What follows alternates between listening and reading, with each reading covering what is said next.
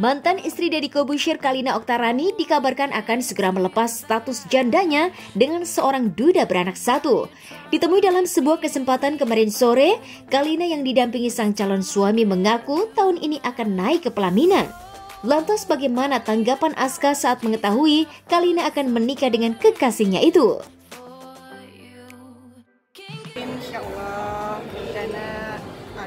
Cuma kapan nanti aja. Persiapan ada sih tapi ya kita tinggal tunggu aja ya kayak gimana jadi maksudnya kan uh, pokoknya niat aku sama beliau tuh baik. Bismillah mudah-mudahan uh,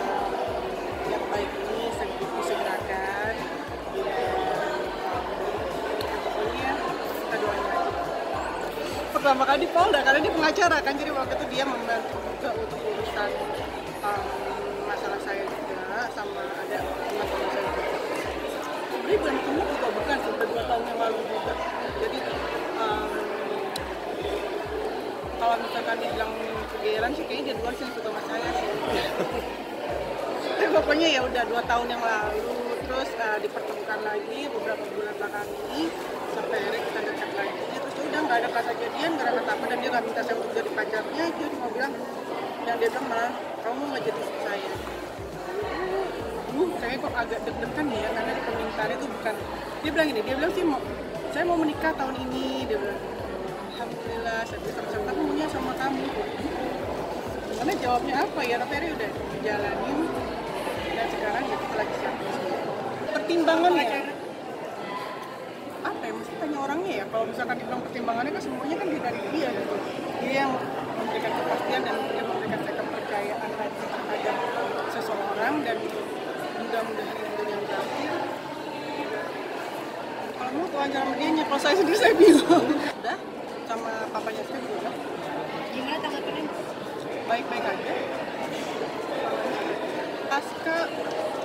Aska sih yang penting saya bahagia sih saya bahagia ibunya bahagia dia pasti bahagia disegerakan aja bukan nanti pasti tahu juga kok kapan mungkin ada lamaran dulu atau? Lamaran pasti dia minta ke orang tua saya. Lah maksudnya sih langsung cepet-cepetan nikah gitu aja kan nggak mungkin kan? Pasti dia dia udah beliau sudah ketemu dengan papa saya ibu saya. Juga Bet- Alhamdulillah sih sambutan dari keluarga besar baik-baik aja dan menerima beliau dengan sangat itu ngobrol bareng-bareng. Udah dia juga punya anak juga satu. Kita sama-sama pernah mengalami gagal jadi sama-sama tahu bahwa gagal itu nggak enak kita berusaha semaksimal mungkin bahwa kita tidak mau lagi ada kegagalan lagi. Ya maka doain aja. Bulannya ada sih. Ada. Pokoknya nanti aja atau pertengahan gitu? Ya makanya aku bilang tunggu aja. Ngarep Insan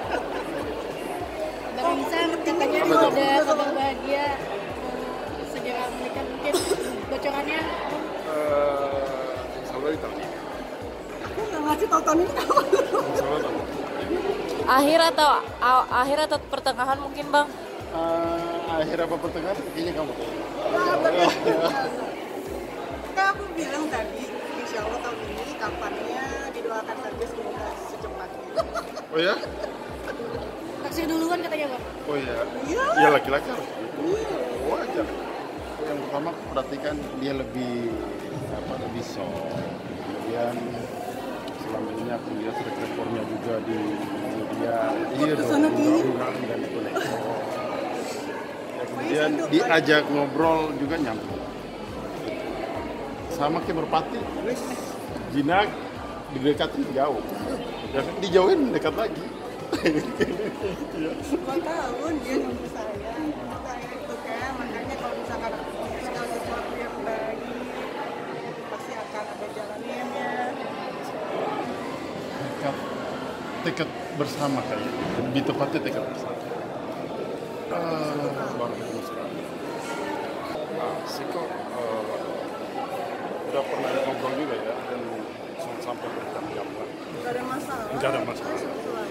looking for.